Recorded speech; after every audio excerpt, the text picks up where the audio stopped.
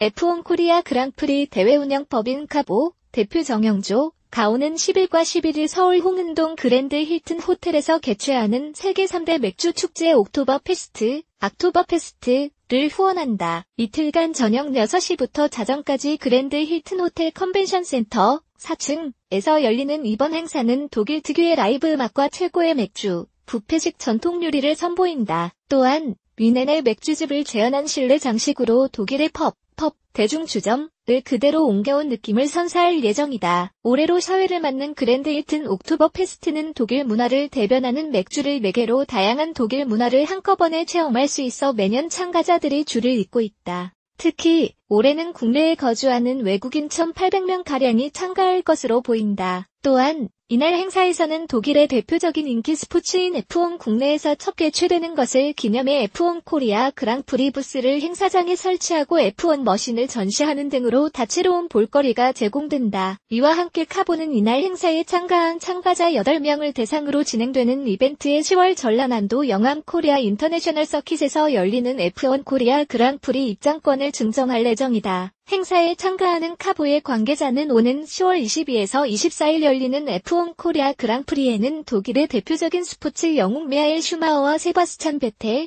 니코 로즈버그 등이 참석하는 만큼 국내에 거주하는 독일 및 유럽인들에게 많은 관심을 받고 있다며 다국적 체험 행사에 보다 적극적으로 F1 코리아 그랑프리를 알려 대회 흥행에 힘쓸 것이라고 했다.